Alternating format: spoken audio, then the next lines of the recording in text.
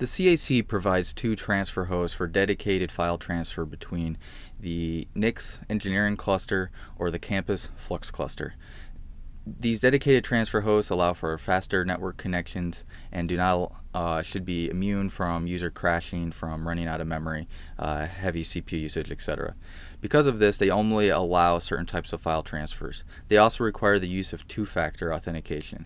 Two factors provided by the M-token system.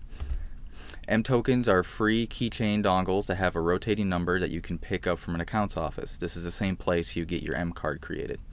In this case, I'm going to demonstrate using CyberDuck. CyberDuck, available at cyberduck.ch, is a free SCP, S3, uh, several other uh, type of protocols uh, piece of software for both Mac and Windows that supports the two-factor authentication. This case, I'm at cyberduck.ch and I actually need to install it, so I'm going to download the version for my Mac.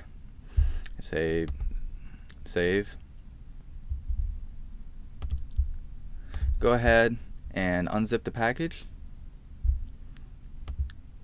and that actually creates CyberDuck. In my case, I'm actually going to copy CyberDuck to my applications folder, which lets me run it normally on my Mac. So if I open CyberDuck,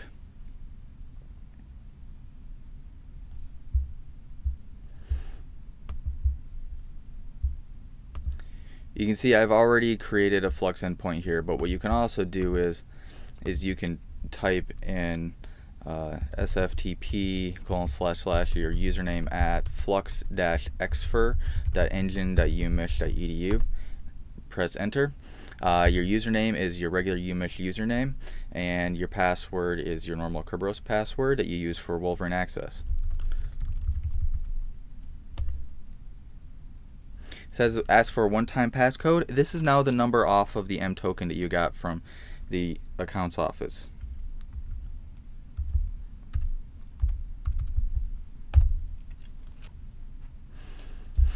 So now it shows me my files that I have on the cluster. Uh, I can navigate to different locations. So like right now I started off in my home directory. If I wanted to go to no backup, I would go to slash uh, no backup and then my username.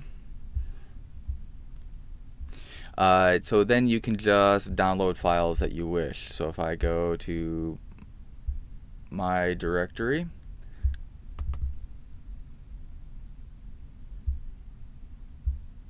say I wanted to download this, I can just right click on it and say download, download as, download to, etc. Or I can just drag the file to my desktop and it transfers it. Sometimes it'll ask you for information again. In this case, just type in your passcode again. And see download complete. Uh, if you want to upload a file, just drag it into the location that you want it.